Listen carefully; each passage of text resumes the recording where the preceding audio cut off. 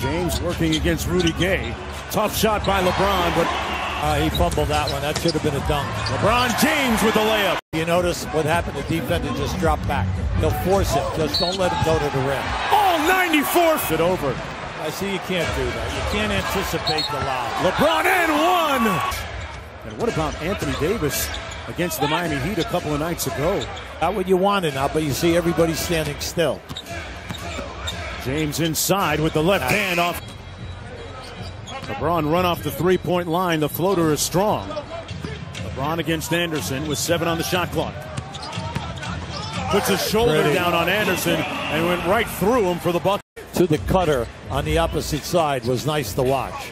James waltzes right over Anderson. That Look out here now. He's going all the way. got downhill Yep. and finished again with the left hand. He's But that's, but that's one of his favorite moves on that fadeaway. Look at this guy foul and right in front of their bench.